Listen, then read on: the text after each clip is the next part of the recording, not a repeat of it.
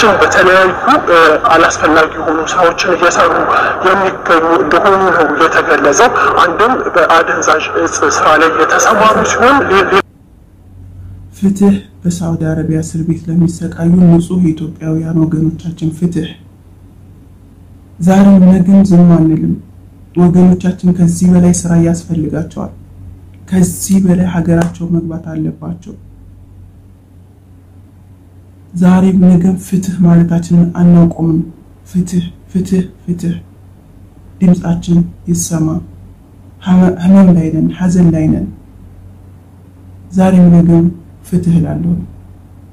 ፍትህ በሳዑዲ አረቢያ እስር ቤት ለሚሰቃዩ ንጹህ ኢትዮጵያውያን ወገኖቻችን የወገኔ ህመም ያመኛል ያለ ሁሉ ፍትህ ሳይል እንዲያልፍ ፍትህ ፍትህ ፍትህ። የትናንትናው መግለጫ አጥጋቢ አይደለም።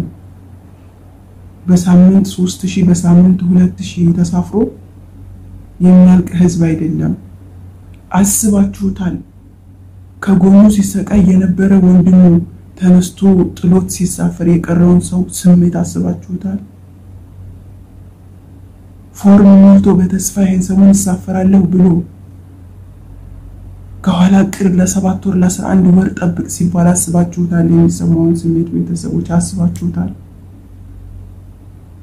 ፍትህ መጠየቅ መቻል አለብን።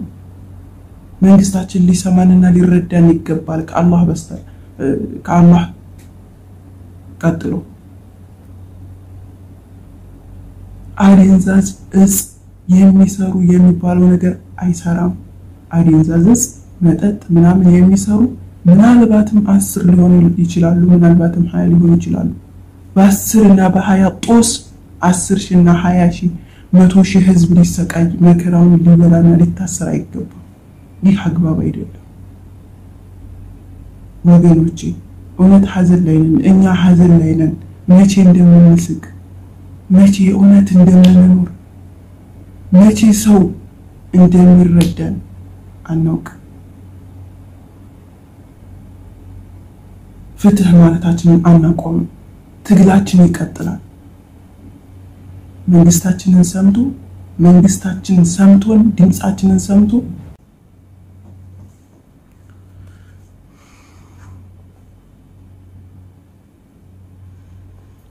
ሰላም አለይኩም ወራህመቱላሂ ወበረካቱሁ። ዛሬም እንደዚህ ጥቁር በጥቁር ለብሰን አዝነን በሀዘን ልባችን በሀዘን ሰውነታችን ባዘነ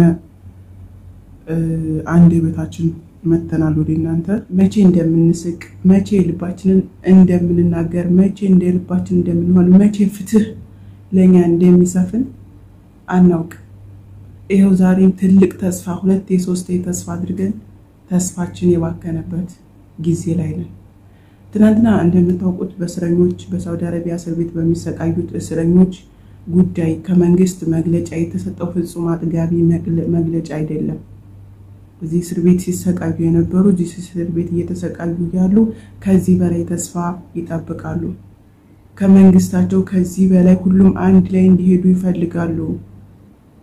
ጓደኛቸው አብሯቸው ሲሰቃይ የነበረ ተነስቶ ሲገባ ይሄኛው ደግሞ ሲቀር እኔስ እኔስ ለስንት ዓመት ይሆን እዚህ የምሰቃየው? ለስንት ዓመት ይሆን የምቆየው? ለስንት ጊዜ ይሆን እንደዚህ መከራ፣ ይሄን ስቃይ፣ ይሄን ረሃብ የምችለው ብሎ ሲጨነቅ አስባችሁታል? ውድ ሀገሬ ልጆች አስባችሁታል? ፎርም ሞልቶ በተስፋ እየተጠባበቀ ያለ ንጹህ ወገናችን ይሄን ሁሉ ተስፋ በሁለቴ አንዴ ብቻ አይደለም ሁለቴ ሶስቴ ተስፋው ሲቋረጥ አሚሩ ሲቀዘቅዝ ደስታው ፈጽሞ ከላዩ ላይ ሲጠፋ አስባችሁታል? ከመንግስት የተሰጠው መግለጫ ስለ እስረኞች ፍጹም አጥጋቢ አይደለም። አሁንም ቢሆን ከዚህ በላይ ሊሰራበት ይገባል። ሁሉም አንድ ላይ ሁሉም ሁሉም ጥቅልል ብለው አንድ ላይ ወደ ሀገራቸው እንዲገቡ እንፈልጋለን። መንግስታችን እንዲሰማን እንፈልጋለን። እስከ ሰባት ወር እስከ ሰባት ወር አርባ ስምንት ሺህ በአንድ ወር ውስጥ ያስገባ መንግስት እንዴት ነው እነዚህን ሰባት ወር የሚሰጠው? ችግር የለውም። ሀገርም ቢሆን ራሳቸውን በራሳቸው ይኖራሉ።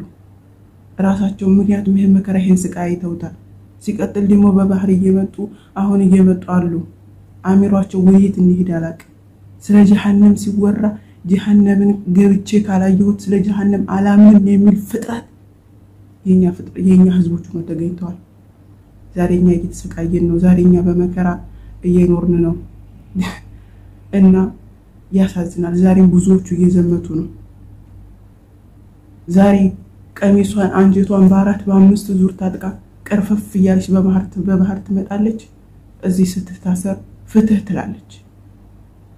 ይህን መጀመሪያ እዚህ በስቃይ እየተሰቃዩ ያሉት ሀገር መግባት መቻል አለባቸው ወገኖቼ። ከዚህ በላይ አጥጋቢ መግለጫ ሊሰጥ ይገባል። መግለጫ ብቻ አይደለም ተግባር። በሳምንት ሁለት ሺህ ሶስት ሺህ መቼ ሊያልቁ ስንት ዓመት ሊቆዩ? ዛሬ ምነገር ፍትህ ፍትህ እንላለን። አዎ የኢትዮጵያውያን ህዝብ በየቦታው በያለበት ስቃይና መከራ በዝቶበታል።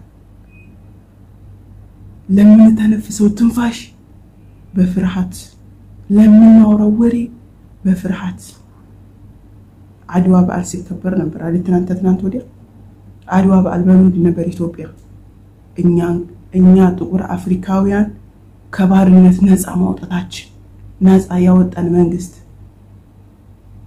ዛሬ ግን ሀገር እያለን ሀገር እንደሌለን ሆነናል። ስለዚህ አሁንም ቅድምም ዝም ማለት የለብንም። አዎ እናውቃለን። የእኛ የተነጋገርነው ነገር ተደራሽነት የለውም ብለን እናስባለን። ግን ደግሞ share አድርጉት ቪዲዮውን ማለት ነው። እህቶቻችሁ ስለ እስረኞች ሲሰሩ አትመለከቱም። እሙዬስ ምንድን ነው ያለችው? ስለ ወሬ ስለ prank ምናምን ሲሰራ ብዙ እስከ መጨረሻው ታዩታላችሁ። ሁለት ፍቅረኛሞች ጎን ለጎን ተቀምጠው ይሄ ሲባባሉ እስከ መጨረሻው ታዩታላችሁ። ይሄን ጉድ ሁሉም እያላችሁ የቆረጣችሁ ወደ ቲክቶክ ትለቁታላችሁ፣ ወደ ፌስቡክ ትነሽሩታላችሁ። ስለ እስረኞች ግን ቪዲዮ ሲሰራ ፍጹም share አታደርጉም፣ ፍጹም አታዩም እስከ መጨረሻ። ሁላችንም አንድ ሆነን አሁንም ቢሆን ስለ እስረኞች ቪዲዮ መስራት መቻል አለብን። ፍትህ መጠየቅ መቻል አለብን። አሁንም ቢሆን ይሄ የወጣው መግለጫ ስራ ቢጀመርም እንኳን አጥጋቢ አይደለም።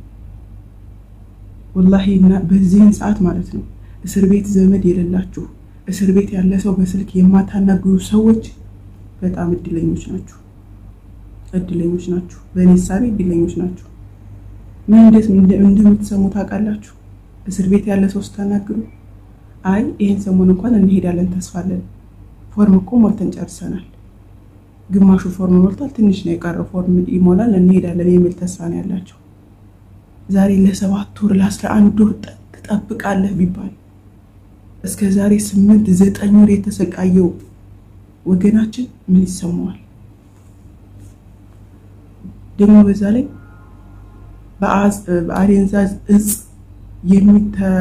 የሚተዳደሩ ወይም የሰሩ ብለው ነው ያሉት ከመንግስት የወጣው መግለጫ አደንዛዥ አደንዛዥ እጽ ነው ምናምን የሚባለው ነገር የሚሰሩ ሰዎች ወላሂ ከአስር አይበልጡ ከአስር ወይ ከሀያ አይበልጡ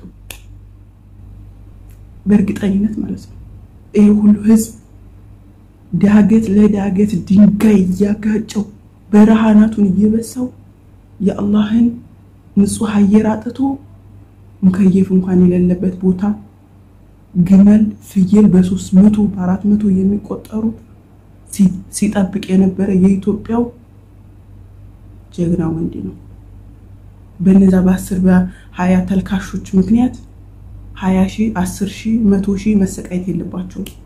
ከፈለጋችሁ እነሱን ወደ ውሰዱና እዛው አቅቧቸው፣ ወስኑባቸው። እንዴት የሰው ልጅ ያለ ውሳኔ አስር ወር አስራ አንድ ወር ይታሰራል? እስኪ አስቡት። በጣም እኮ ነው የሚከብደው። በጣም ከባድ ነው ወላሂ። ስለዚህ አሁንም ቢሆን ፍትህ ልንል ይገባል።